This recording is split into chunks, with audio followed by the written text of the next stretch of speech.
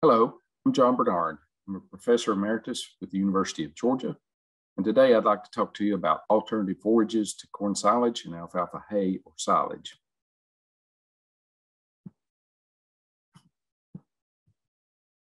Corn silage and alfalfa are considered the king and queen of forages in the United States. This is primarily because of the high yield potential and the nutrient content of each of these forages that is especially beneficial when feeding high producing lactating there's times and situations where alternative forages may be desirable or actually needed to provide adequate forage for feeding the herd. Some of the reasons for looking at alternative forages may be due to drought or in areas where water uh, is limited. Uh, that is a way to look at some of these crops that don't require as much water. Occasionally, we'll have extremely wet springs that delay planting of especially corn, or maybe they ground out some of the alfalfa in places. And we have to look at some alternatives there. After an extremely cold winter without adequate uh, snowfall, uh, there is greater winter kill of the alfalfa that is going to lessen the amount of forage that is produced. So looking at alternatives there to have adequate forage supply. Sometimes we just need more flexibility uh, for crop rotation. Sometimes we find ourselves with inadequate forage supply and maybe an opportunity to rent some land short term to grow some extra forage as well. In many cases, we have some fields that do not have the quality soils to produce good crops of corn or alfalfa. So an alternative forage may be a better choice on those uh, fields. For some farms, uh, this may be a way to spread out the workload and better get better utilization of equipment. Uh, so we can harvest forage and, and not uh, have everything bunched up at one or two times during the year. There may be other things that come into play here that uh, have folks looking at alternative forages. Uh, those are going to differ from farm to farm and area to area.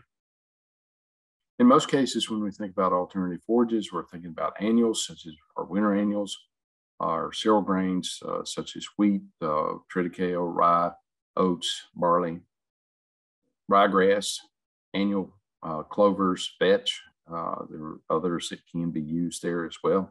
Summer annuals, forage sorghum, pearl millet, sorghum sudan grass, sudan grass, teff, soybeans, cowpeas, and again, there are other opportunities there as well, alternatives. I think one of the things that have made some of these alternative forages more attractive here over the last years is that plant breeders have continued to develop improved varieties that not only have potential for higher yield, but also higher quality and greater fiber digestibility than the uh, older varieties that many of us may think about. Also, particularly in the winter annuals, there's varieties now available that better fit into a double or triple cropping system uh, that maintain yield and quality without delaying planting of corn, for instance. When we look at some of the forage, uh, or excuse me, summer annuals uh, like forage sorghum, uh, the identification of varieties that have the brown midrib gene that supports lower lignin concentrations and improves NDF digestibility has been a big plus in, in that area. There is a yield drag that comes with those genes, so you have to look at the varieties performance there to pick those that yield drag will average around 10%, but it is variable. One other thing, uh, disadvantage with the brown midrib, when put into traditional varieties that are very tall, it does increase the lodging potential. However, the brachytic dwarf gene was identified, and these varieties have uh, shorter growth patterns. The stem is typically much larger, so they do have less lodging potential. So when you combine that into a variety with the BMR gene, you have a plant then that will maintain uh, similar yield with a higher digestibilities. Another grouping of forages here that is available, uh, particularly in sorghum sudan grasses, but also in forage sorghums and, and sudan grasses, is high sugar or sweet varieties. As the name implies, these varieties have higher concentrations of sugar than their normal counterpart, which is going to provide more energy there to the animal when it consumes those. There's a number of things that should be considered uh, when you're looking at alternative forages. Uh, some of the agronomic factors, certainly suitability to the soils and climate there in your area. What are the water requirements? If you're limited in water to start out with, you certainly don't want to choose a alternative forage that might have a greater water requirement than what you're growing now. Fertility requirements, are they the same? Are they less? Are they greater? What are your weed and pest uh, problem, potential problems, as well as control measures there? Because they're going to differ from corn and soy um, and alfalfa. What's the yield and nutrient quality potential, and how does that forage then fit into your existing feeding program? Are there any changes in equipment that are needed for planting and harvesting this forage? And how does it fit into your existing crop system?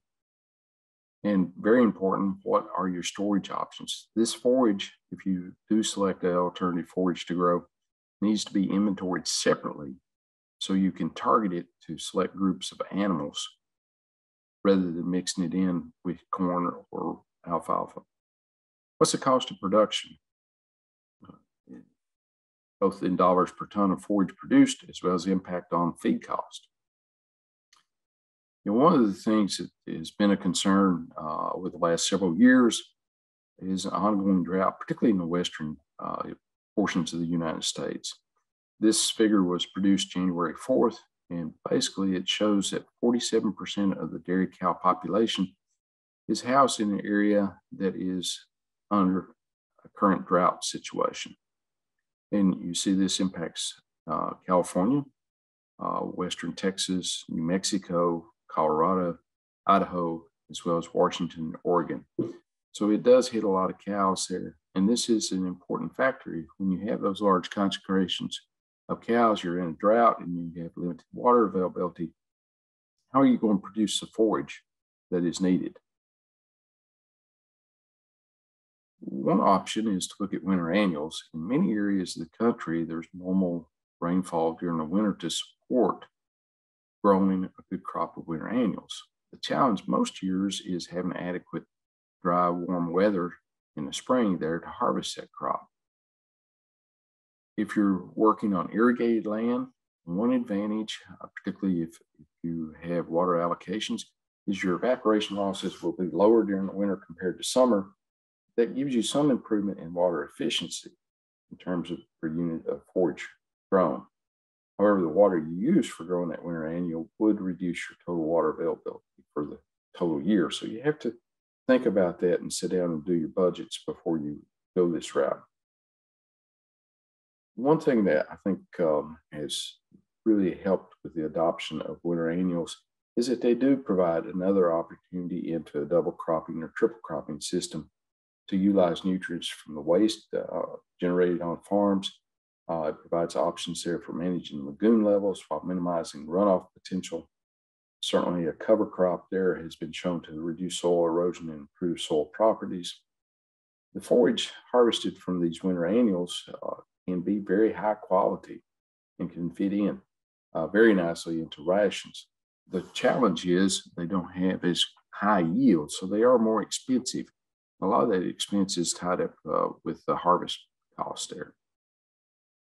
When we look at summer annuals, certainly uh, sorghum and millet have an advantage in that they are much more efficient in terms of producing more pounds of forage per inch of water applied to an acre compared to corn. So, how do you use this?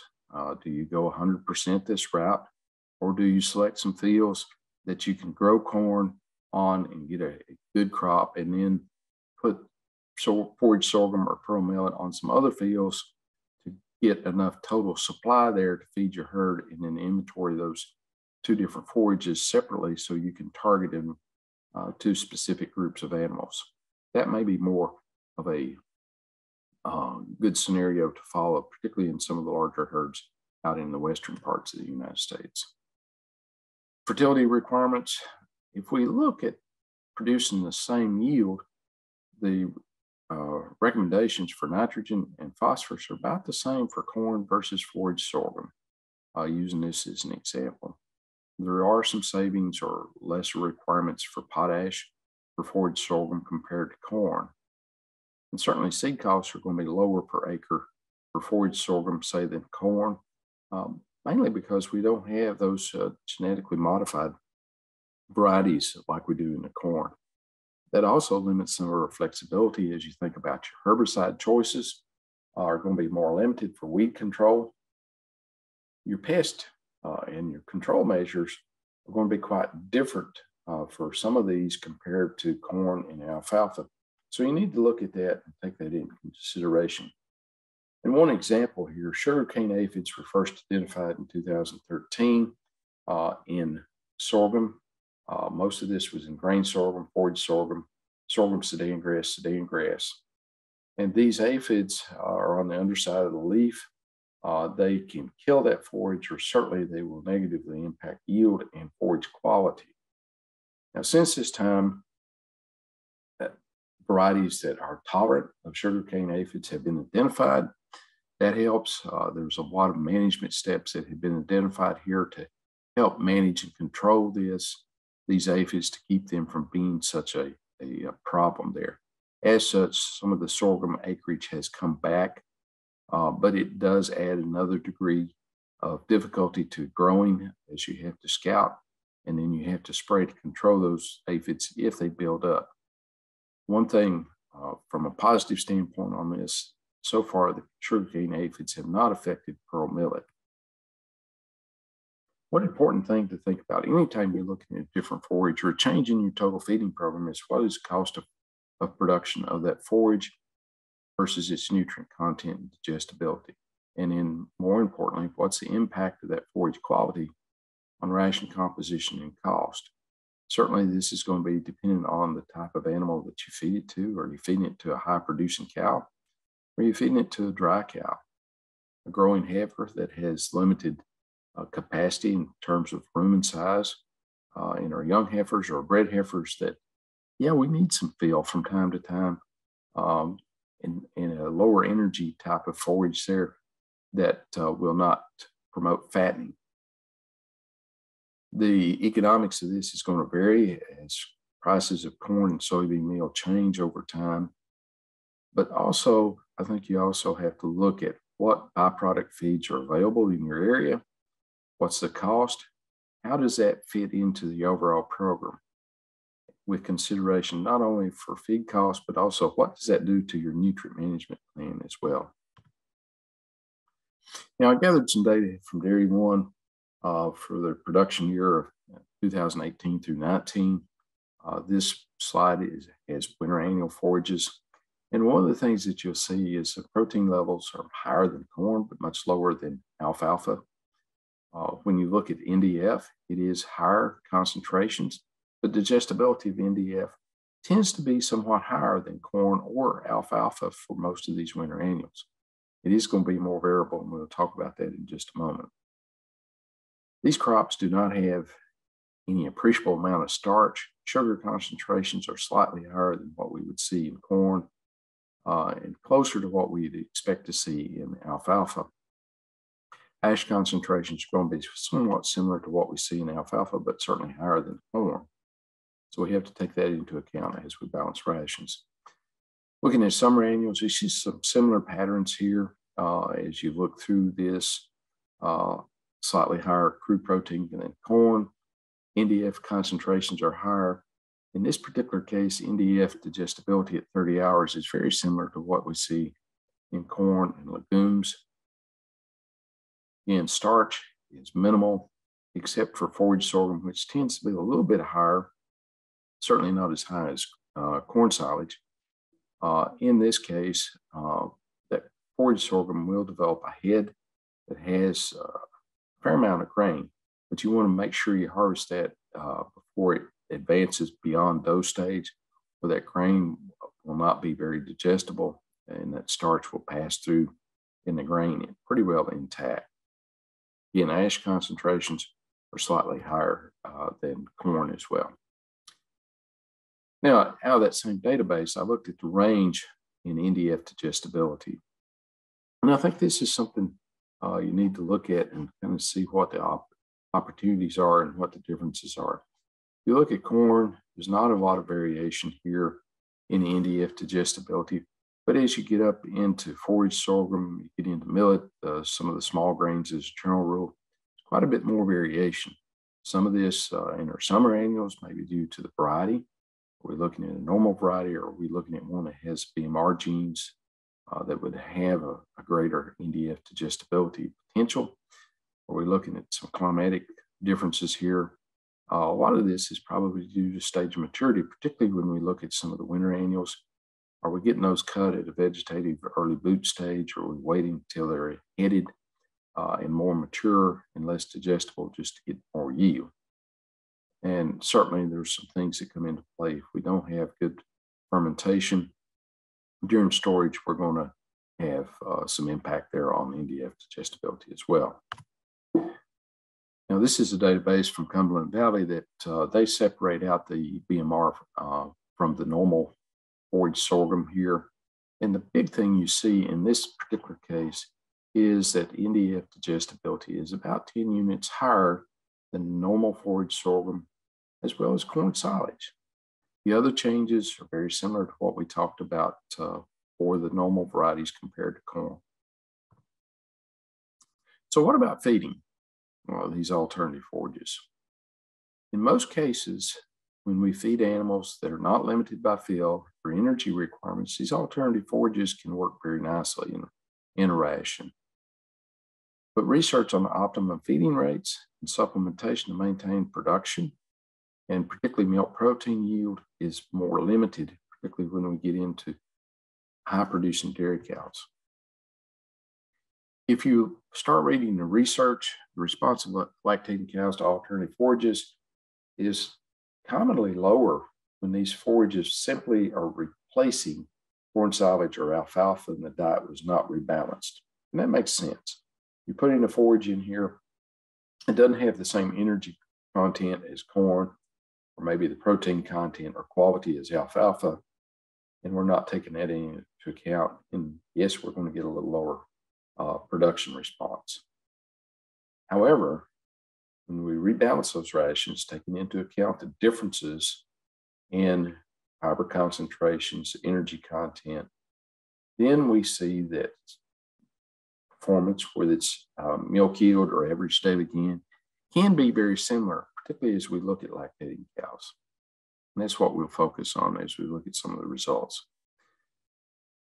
Early on, when I uh, got to Georgia, started looking at some of the winter annuals there as an opportunity to increase uh, growing those in systems to provide more high quality forage.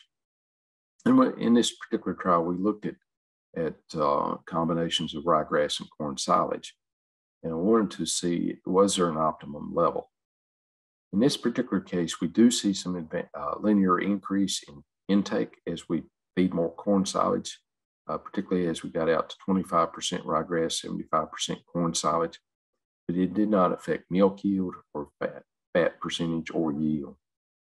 Milk protein percentage, however, was improved again with feeding more corn silage in a linear fashion. And when we look at pounds of energy corrected milk to 3.5% uh, fat and uh, 3.2% protein, there were no differences there, or no differences in terms of efficiency based on energy corrected milk divided by dry matter intake. We did a follow up study, uh, or another study here, where we looked at 100% uh, ryegrass or a 50 50 combination of ryegrass and corn silage, either supplemented with ground corn or steam flake corn. And what we saw was that we got better intake with feeding the combination of corn silage and ryegrass, but we also got a, high, a decrease in intake when we put the steam flake corn in, in the diet. Milk yield was increased mainly with steam flake corn. No differences in fat or protein percentage or yield. Energy corrected milk yield, though, was higher for the cows fed the diets based on both ryegrass and corn silage, as well as those that were fed the steam flake corn. So I think the situation, uh, as we start to look at this and other uh, trials that uh, bring up, when we can feed these in combination with corn silage, we're probably going to get a better response uh, because that corn in the corn silage uh, does bring a lot of energy into the diet that is very beneficial. And this is a study that was done in Mexico. And they looked at substituting triticale hay for alfalfa hay. There were no differences in intake, but milk yield declined in a linear fashion. And this is a large herd, so they had quite a bit of power here uh, in the replications that they did. But it, they lost three pounds of milk. However, milk fat percentage increased on a linear fashion so that there were no differences in milk fat yield. Milk protein yield tended uh, or declined in a linear fashion, as did uh, milk protein yield. Uh, here, slightly lower uh, for the diets formulated with the triticale hay completely. Now, these diets also had 26% uh, corn silage, and they also contained steam flake corn. So I think there's some opportunities here as you look at this, but I think we need to go back in and look at how we supplement these diets from a protein standpoint to maintain the quality of protein, maintain particularly uh, milk protein synthesis uh, that would possibly also help maintain milk yield. Now, in alternative forages, there's limited data out here compared to corn silage or alfalfa. This is a study that conducted a meta-analysis comparing uh, normal forage sorghum uh, or corn silage compared to brown midrib forage sorghum. There are only nine trials where they looked at forage sorghum versus the BMR, or 13 trials looking at corn silage versus the BMR forage sorghum. as we'd expect, uh, the normal forage sorghum compared to BMR uh, tended to support lower intake, certainly supported less milk yield, with lower fat uh, composition and yield, lower milk protein yield, and lower lactose yield. More of interest is the comparison of corn silage versus the BMR forage sorghum. No differences in intake or milk yield. Milk fat percentage tended to be lower uh, with the corn silage, but there were no differences in fat yield.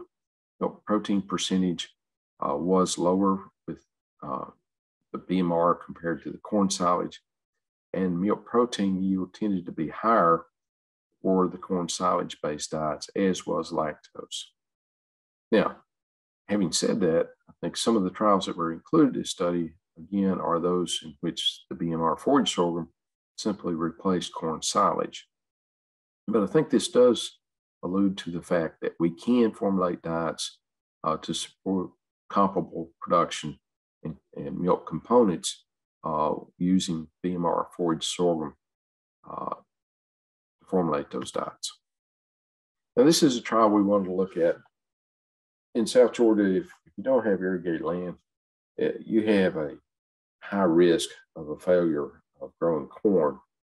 And when you look at uh, ryegrass, uh, ryegrass growth pattern for some of the earlier varieties, in particular when we did this, uh, was later in the season. So if you pulled it off early to plant a corn crop, uh, you would give up quite a bit of yield. In this system, we could look at uh, harvesting ryegrass a little bit later to get a higher yield off of that uh, uh, forage, and then follow up and, and uh, plant our forage sorghum. And we wanted to look at two different ratios, a 50-50 mix or 75-25 um, blend of forage sorghum to ryegrass. And we supplemented with ground corn, hominy feed, or a blend of the two, 50 50 blend, to see if the source of uh, supplementation, energy supplementation, made any difference. You know, when we look at the data, there are no differences in intake, milk yield, uh, or components. However, energy corrected milk yield was higher for the diets containing 75% forage sorghum, 25% ryegrass silage as was efficiency. Now, when you look at the composition of these diets, uh, fibers were very similar for both. Um, were 34 to 35% NDF, so a little higher than maybe where we might formulate, but these were mid to late lactation cows. The starch concentrations were roughly 3.5% higher when we fed more forage sorghum. So I think there is uh, opportunity here to do some more work in this area to refine how we supplement the energy here in these diets and what form that energy should be in. Now, later on, we looked at uh, producing, uh, comparing diets based on all corn silage versus forage sorghum. We're in an tr- area where we can triple crop. We can grow two corn crops a year as well as a winter annual crop. In this case, what we did, we planted our first corn crop uh, late March, early April, harvested it in July, replanted our corn by the 1st of April, harvested that uh, late October, early November. We planted forage sorghum shortly after the corn was planted, or immediately after the corn was planted. We harvested it uh, immediately after the uh, corn was harvested. Rather than replanting, we let that forage sorghum ratoon or regrow. It will stubble out and regrow. Yields aren't quite as high as replanting, but you don't have the cost of, planting, uh, both seed or fuel cost, uh, labor costs there. We basically refertilized that uh, stand, did some weed control, harvested the forage, uh, let all the forage uh, ferment for at least 60 days before we started feeding this. And the bottom line, there were really no differences here except that milk fat percentage tended to be or was lower uh, for the second crop. Uh, corn silage, MUN concentrations were higher with forage sorghum, and we see this quite commonly. So we can uh, use improved forage sorghum, and this is, was a BMR brachytic dwarf variety that we planted. So it would stand up to some of the tropical storms that we get, particularly in the, in the fall. Uh, we did not have any lodging issues with it, uh, and it compared very nicely.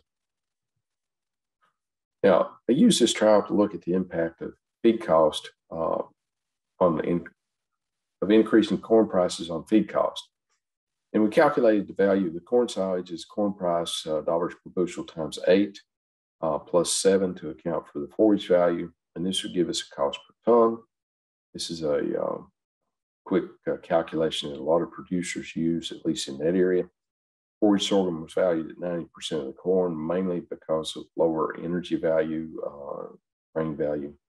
All other ingredient prices were held constant. So we didn't try to change everything.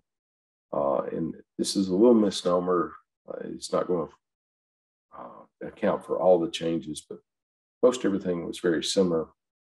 Uh, corn supplementation was the biggest change between these diets. When corn costs $3.50 a bushel, feeding the sorghum silage based diet cost 2.4 cent more per cow per day than the corn silage diet. However, when corn prices increased to $6 per bushel, which is where they've been uh, in recent uh, months, that difference increased to 11.5 cents. So you have to keep this in mind as you look at these alternative forages, figuring out what is going to uh, be the impact on your bottom line. Again, if you can't grow corn silage, uh, this is just a cost of doing everyday business. But if you can grow corn silage, maybe this an alternative forage may not be the best option in times when corn prices are going to be very high. Now, this is a study from China that looked at replacing corn with a sweet sorghum, either replacing 0, 25, or 50% of the corn. And uh, these diets contain 55% uh, forage. Corn was the predominant forage in there, but it also contained some alfalfa, chopped oat grass, some Reming's uh, silage as well, some alfalfa silage. And when you look at their corn silage, it was a much lower starch concentration than what we are accustomed to. Okay, so keep that in mind as you look at these results. As we as they increased uh, the amount of sweet sorghum in the diet at the expense of corn, dry matter intake tended to decline linearly. No differences were observed in milk yield uh, or fat yield or uh, percentage, or milk protein percentage did decline in a linear fashion, although milk protein yield uh, was not affected. Energy corrected milk yield was similar across the board, uh, as was efficiency. So there are some opportunities here. What is the optimum level? I think you look at what is your growing um, agronomic aspect here from that standpoint. And which class of animals would you want to do this in? If you've got some later lactation cows, Having a lower dry matter intake while sustaining milk production may be advantageous to prevent uh, excess body fat accumulation in some of those cows. This is some work from Miner Institute up in Upper New York, where they looked at a BMR uh, sorghum sudan grass compared with corn silage. And basically, they fed diets formulated with 35 or 45% sorghum sudan grass or corn silage. These diets also had roughly 12.5% alfalfa uh, in them as well. And I put in the NDF content of the ration as this uh, starts to explain some of the responses we see. Because that fiber concentration in the sorghum sudan grass is going to be much higher than corn silage, simply replacing that corn silage with sorghum sudan grass did uh, significantly increase NDF concentrations of the diet, and as such, limited dry matter intake, particularly on the 45% sorghum sudan grass. Milk yield followed somewhat of a similar trend in that it was highest for the 35% corn silage diet and lowest for the 45% uh, sorghum sudan grass. In this particular case, milk yield was not different uh, for the 35% sorghum sudan grass or the 45% uh, corn silage. So again, it may be an opportunity for some cows in later uh, lactation uh, where you don't want them to gain a lot of weight, uh, but you need to maintain milk production. No differences in fat composition or, or yield, but milk protein was significantly lower, particularly uh, as we get into the 45% uh, sorghum sudan grass uh, compared to uh, corn silage. MUN concentrations, uh, again, were higher, uh, particularly for the 45% uh, sorghum sudan grass. But I think um, we look at those, those are quite a bit higher than where we'd like to have them as a normal rule. No differences in 3.5% fat corrected milk. But I think again, this is one of those studies that you, you have to look at it here. Uh, I did put in, did not include efficiency. Efficiency was much higher for the 45% sorghum sudan grass, but you're taking a hit not only in intake, but also milk yield. So I don't know that that is a, a positive response uh, in terms of economics here for, for this particular study. This is a unique study that's conducted at Penn State, in which they substitute 10% of the corn silage with a BMR dwarf pearl millet. Now, that millet was cut at flag stage, so late vegetative state, highly digestible material is wilted to only 30% dry matter before it is fed.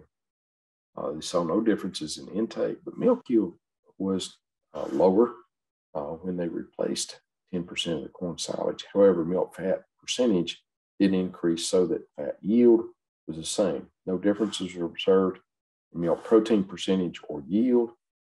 As such, energy corrected milk yield and efficiencies were similar. So this looks here at, at an opportunity to, to insert some of these forages partially to maybe extend corn silage. Uh, we have to look at the ramifications of this you'd have to sit down and do some economics to see how well is this going to work. Uh, a longer term study would be desirable to see what the impacts were for the entire lactation, as well as were there any impacts on energy balance or reproduction uh, as these cows uh, progress through lactation.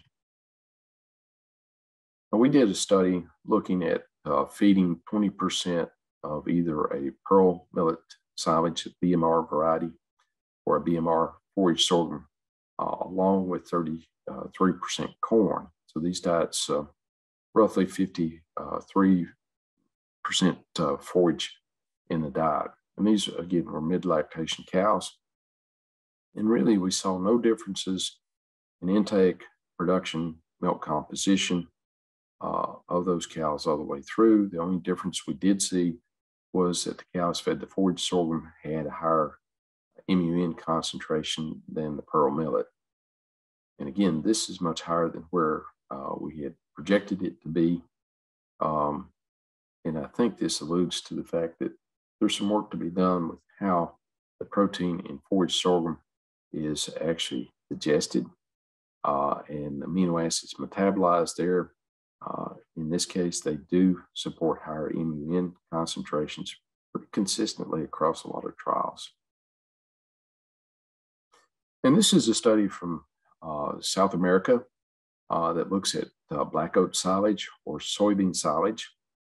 And in this study, they also presented uh, NDF degradability data, uh, the digestible, potentially digestible fraction, the B fraction, uh, if you look at this, was extremely low for the soy bean meal, or excuse me, soy bean silage forage compared to both corn and black oats. Uh, the undigestible fraction, the C fraction, uh, conversely was much higher or highest for the soybean uh, silage. When they fed this to the cows, um, both the oat and the soybean silage uh, had lower intake and milk production. Fat percentage tended to be highest uh, for uh, cows fed to black oats uh, no differences in milk protein in this case, uh, but three and a half percent fat corrected milk uh, was lowest there for the the uh, black oat silage compared to corn. Intermediate there for the soybean uh, silage. So I think as we look at these, uh, we have to to look at how that NDF is going to be used and what the potential energy then from that particular forage is, is uh, and how well it's going to work. How would this work if you fed a blend of corn silage and oat silage or soybean silage? That's a question that would be interesting to look at. So some things I think you have to think about when you're formulating diets. Higher NDF concentration in these alternative forages will uh, set up a uh, situation where you increase potential fill in the rumen. And You can limit intake, particularly for cows in early lactation seems to be more prevalent of an issue when we look at some of the forages like sorghum sudan grass or maybe the oat silage compared to forage sorghum, uh, the BMR forage sorghums uh, in particular. Certainly, when we look at those BMR varieties, that fiber is more digestible. And uh, in most cases, particularly with the forage sorghum, doesn't appear to, to limit intake, but that's not true doesn't appear for all BMR uh, summer annuals. Uh, there are some issues that uh, presented there with some of the millets as well as some of the sorghum sudan grasses. I think we have to have to look at. Supplemental starch and or sugar needs to be added into the diet to uh, replace the energy uh, that would normally be provided by corn silage to maintain microbial protein synthesis as well as milk uh, component yield, especially milk protein. I think from a protein standpoint formulation, well, crude protein concentrations, and most of these alternative forages are higher than corn.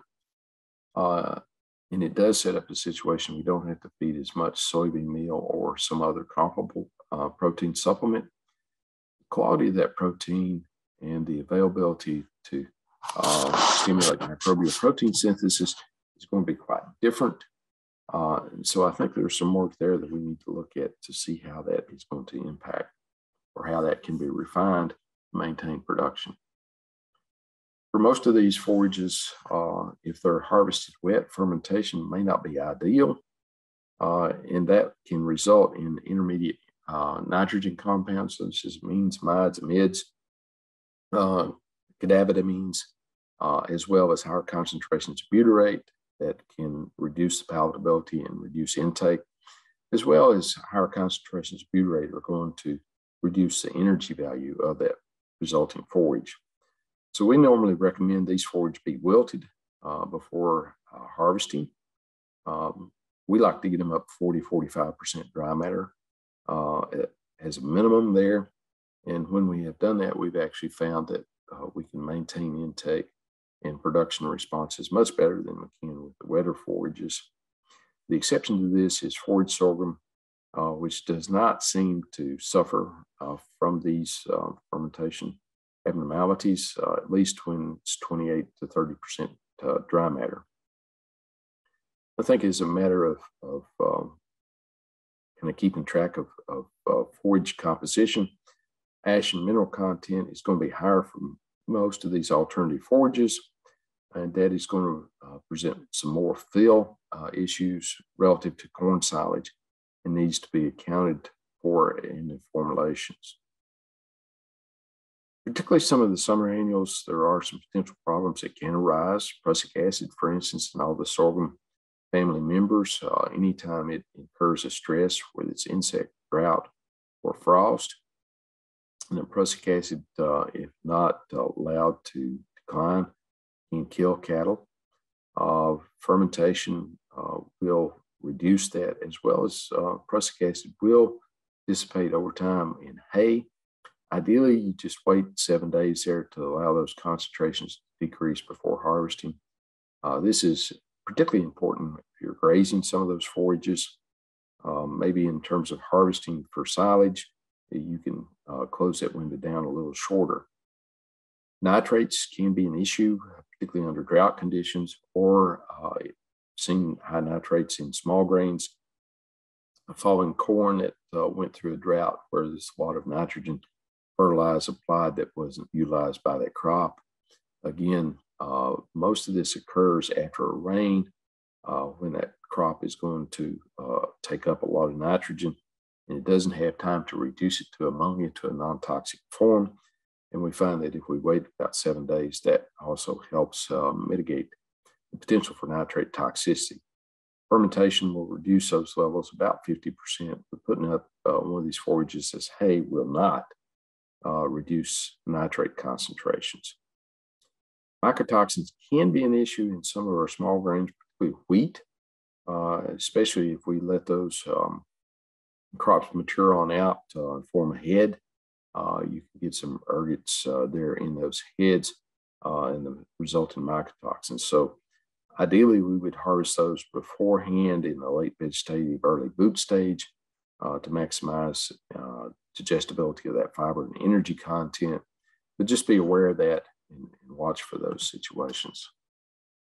I think in summary, alternative forages can be successfully used as part of a forage system, but producers really need to sit down and study the options and consider the impacts of electing to plant these forages before making a change.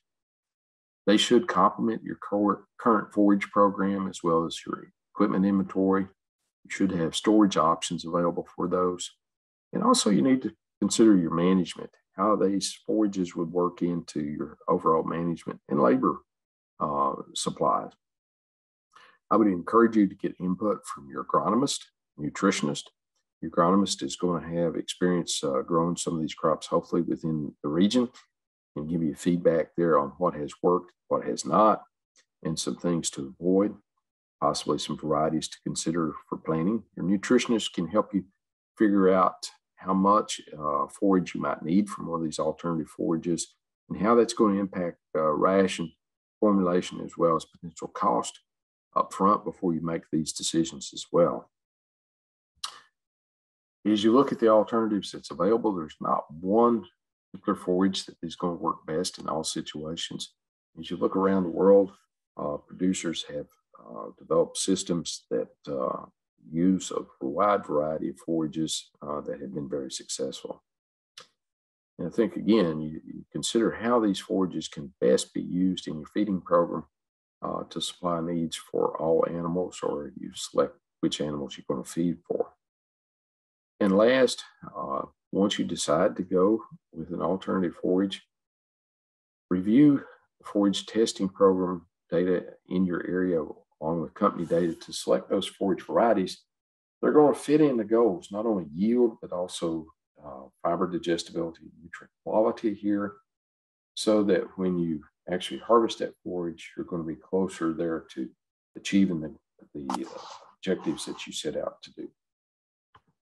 With that, I thank you for your time. I look forward to visiting with you in the near future to answer questions and hope you have a good day.